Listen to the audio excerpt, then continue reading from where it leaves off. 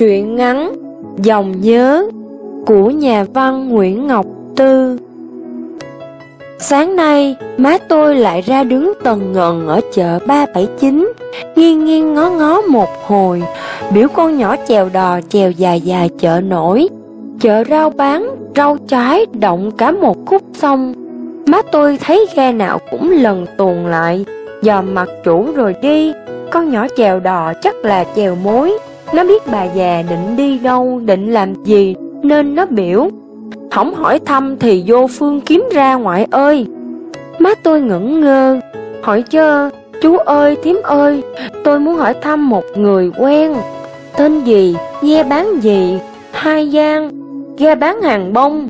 Trời đất, ở xứ này có tỷ tỷ ghe bán hàng bông, cũng có biết bao nhiêu người tên Giang. Vậy tướng tá người đó ra làm sao? Bây giờ đâu có biết ra làm sao. Gặp được một lần 16 năm trước. Nhớ sao tả dậy nghiêng Đàn bà, Chừng 60 chạc tuổi tôi. Tóc dài, Da ngâm ngâm Không đẹp, không xấu. Mới đầu đi với chồng, Sau đó chồng bỏ lên bờ Vì cơ cực quá trời. Hồi trẻ có đứa con gái đầu lòng chừng 7 tháng tuổi, Thì rớt xuống sông chết.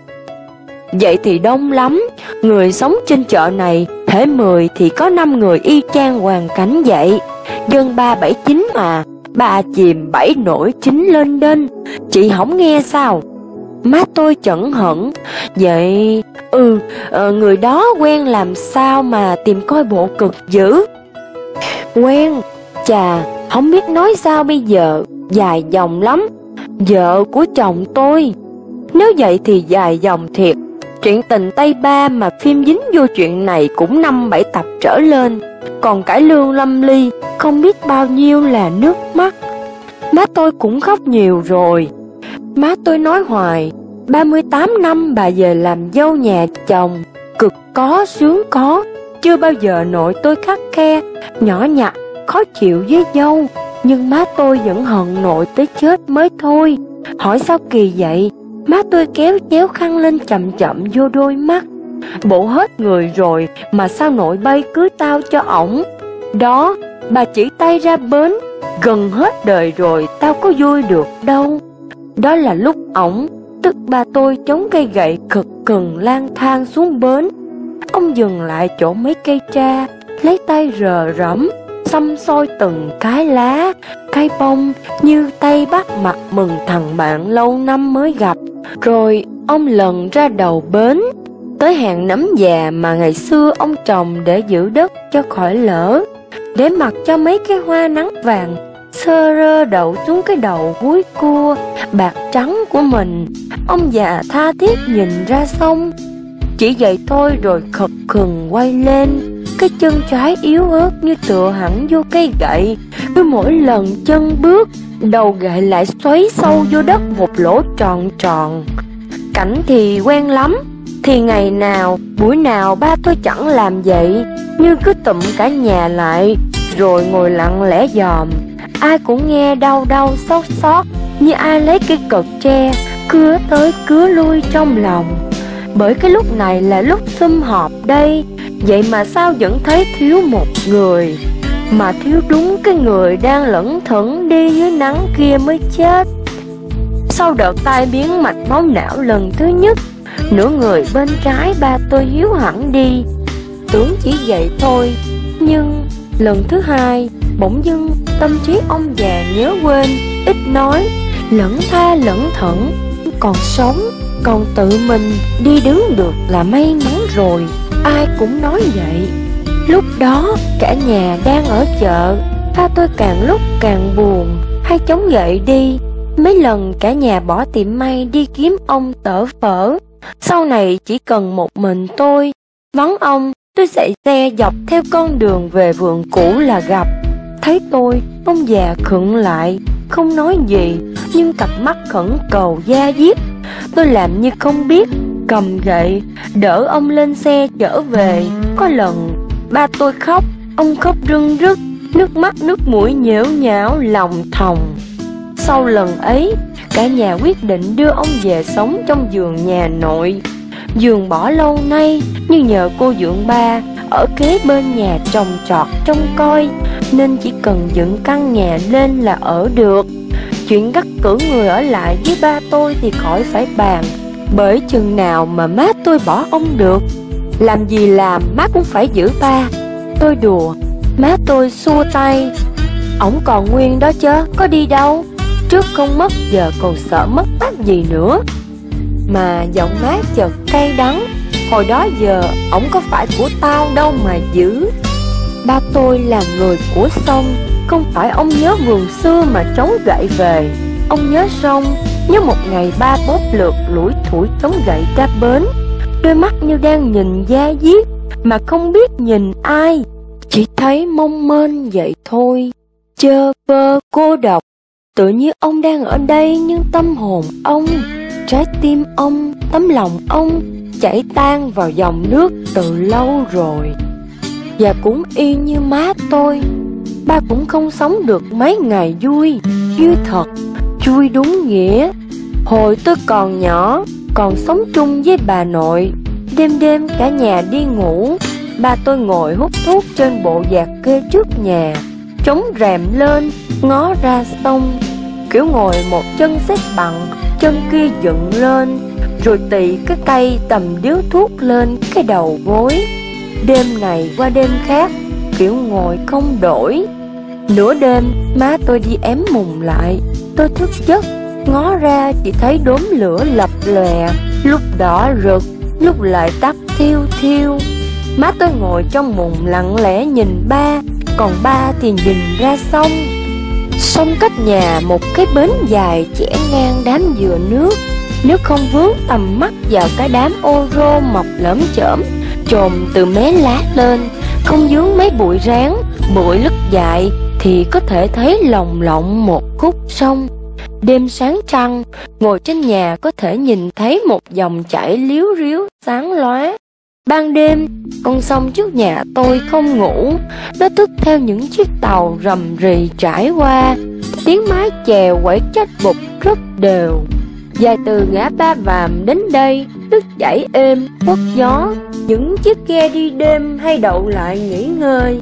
Lâu lâu, có chiếc ghe hàng bông lặng lẽ neo lại ngoài bến nhà tôi.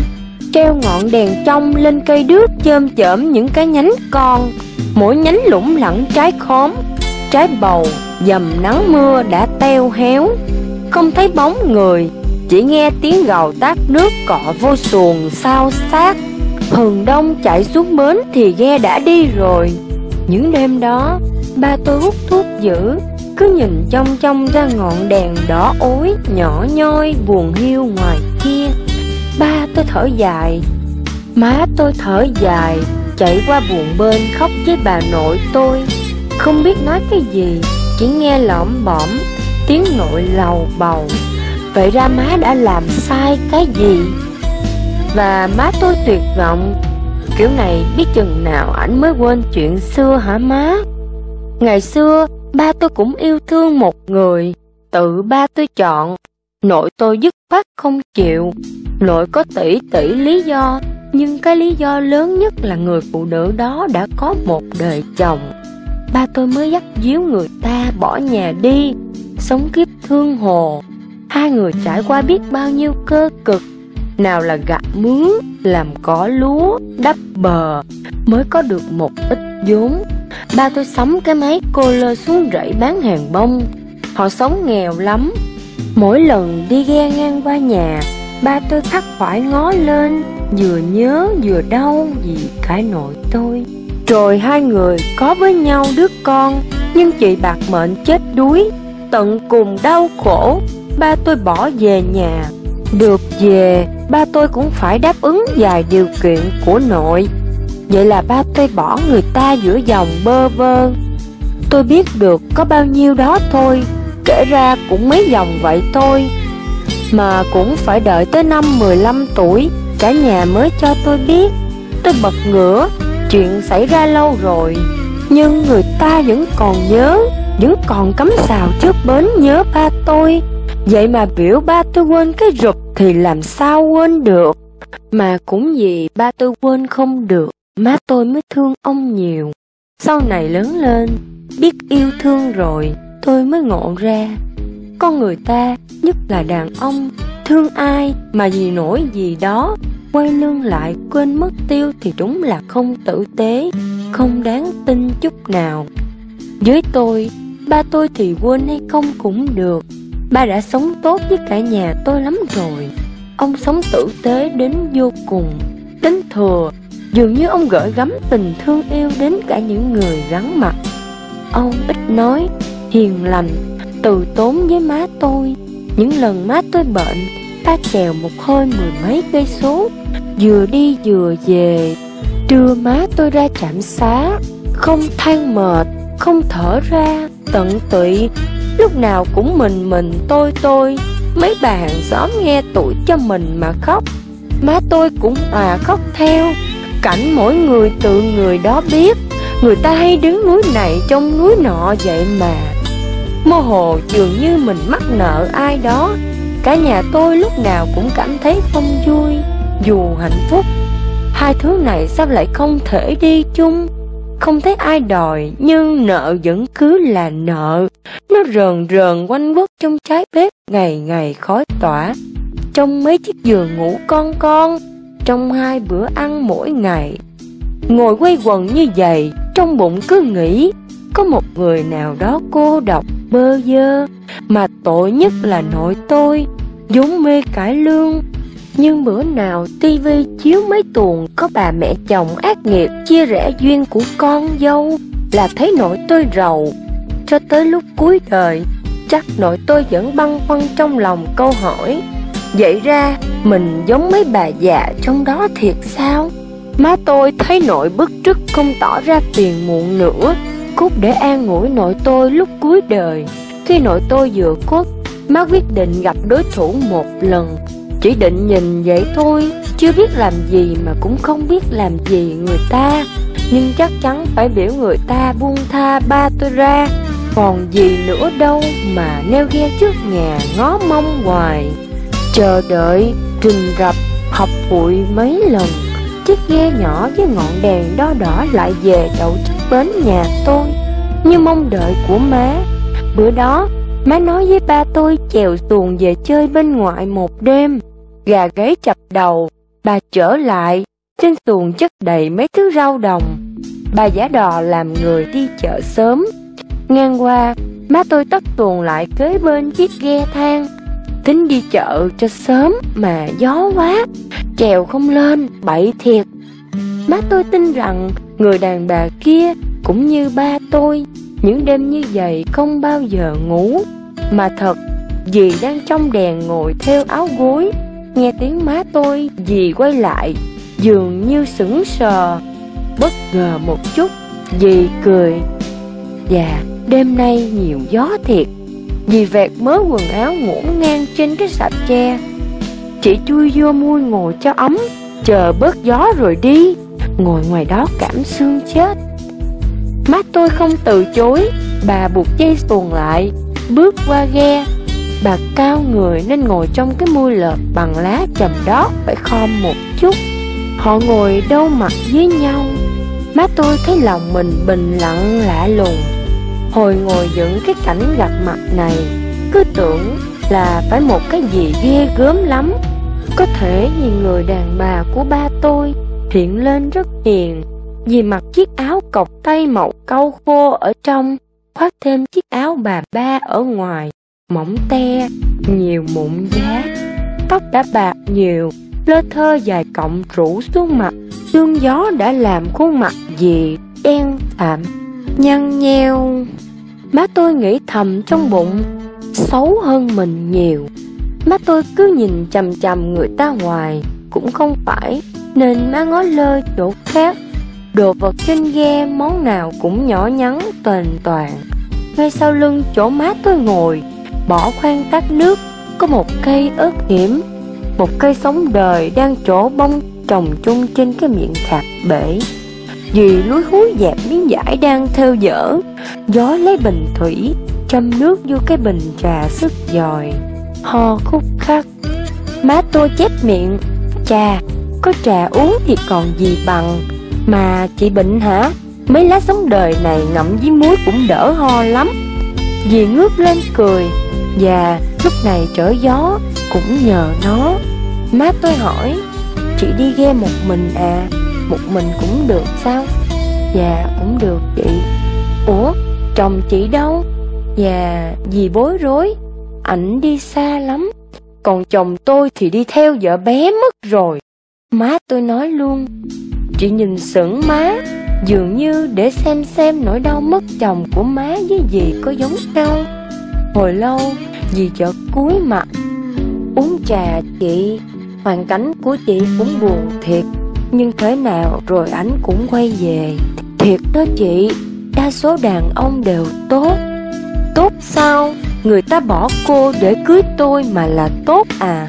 Má tôi ngồi lặng tự hỏi Mà không biết nói gì nữa. Cái câu quan trọng nhất chắc không phải nói lúc này. Má tôi ngồi ngó quanh Một ánh đèn nhỏ nhoi thôi cũng đủ hắt sáng.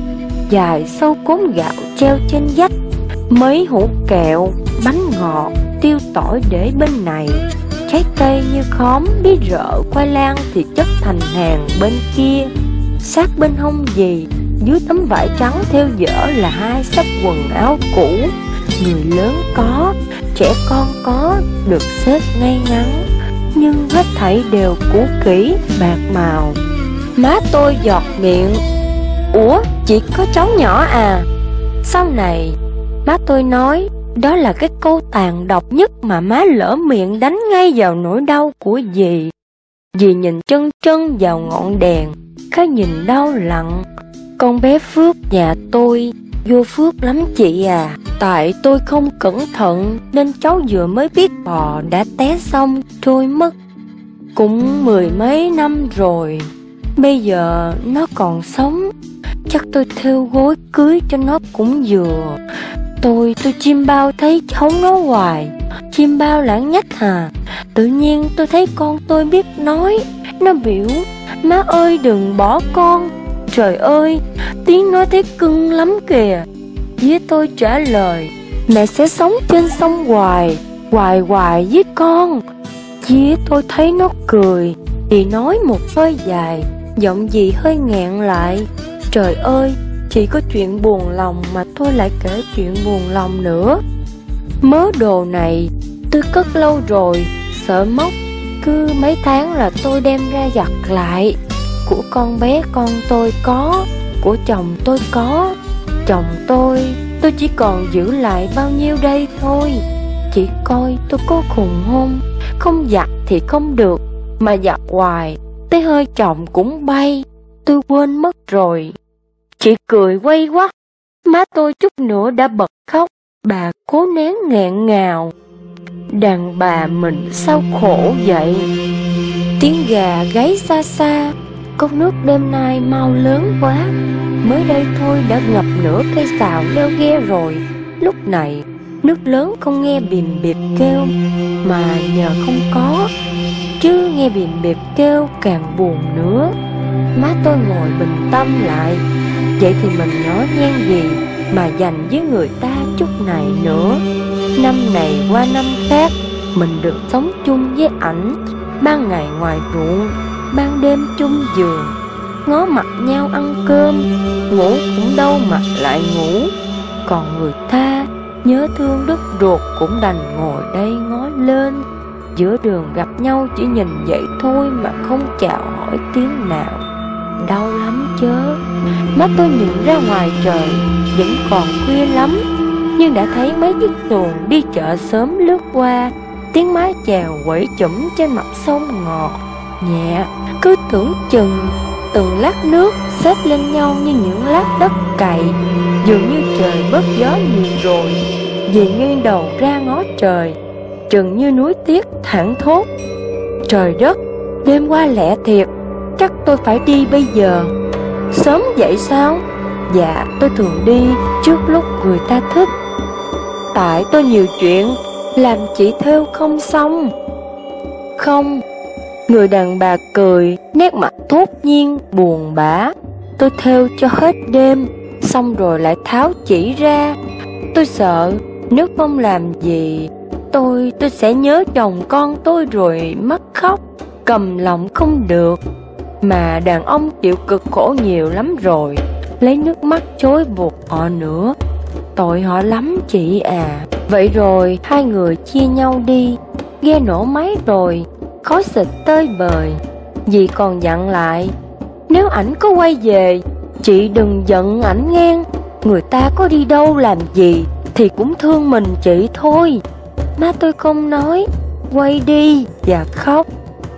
Tháng sau Má tôi quyết định gom mớt của cải cả nhà có được ra chợ Mua cái nhà. Ba tôi biết chút ít nghề mộc Nên nhận đóng tủ, bàn ghế ở nhà. Má tôi chiên đậu hũ bỏ mối Chị tôi mở tiệm may Tôi vào đại học. Mọi thứ được sắp đặt lại mới mẻ, gọn ghẽ. Má tôi bức ba phải xa sông Nhưng chính bà cũng biết Những dòng nhớ vẫn tiếp tục chảy mãi trong hồn ông.